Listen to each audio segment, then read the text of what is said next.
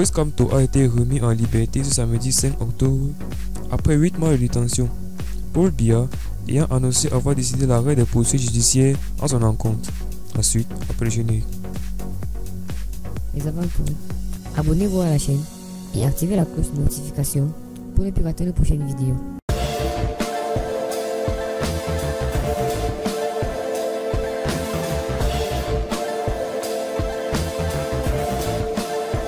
90 autres personnes arrêtées pour avoir contesté les résultats de la présidentielle 2018 doivent également retrouver la liberté.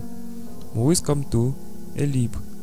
La présidence du tribunal militaire de Yaoundé a prononcé ce samedi 5 octobre l'abandon des charges retenues contre le leader du mouvement de renaissance du Cameroun MRC, ses alliés politiques ainsi que ses militants incarcérés pour avoir participé aux marches blanches contestant le résultat de la présidentielle 2018 à l'issue de laquelle Paul Biya a été réélu pour un septième mandat. Au total, 90 personnes ont été relaxées ce samedi et remises en liberté, qui est décidé par l'arrêt des poursuites judiciaires contre certains responsables et militants des partis politiques, notamment du MRC, arrêtés et détenus pour des faits commis dans le cadre de la contestation des résultats de la récente élection présidentielle avait, écrit la veille le chef d'État camerounais dans un communiqué.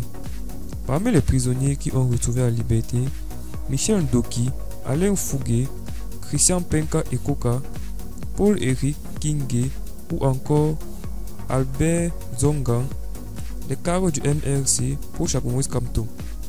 Ils ont été accueillis par la foule impressionnante massée à l'entrée du tribunal militaire de Yaoundé depuis le début de la matinée. Cette remise en liberté de l'opposant camerounais est le fruit de plusieurs jours de négociations en coulisses. Tout a commencé mi-septembre à l'initiative du palais d'Etoudi. Merci d'avoir regardé cette vidéo.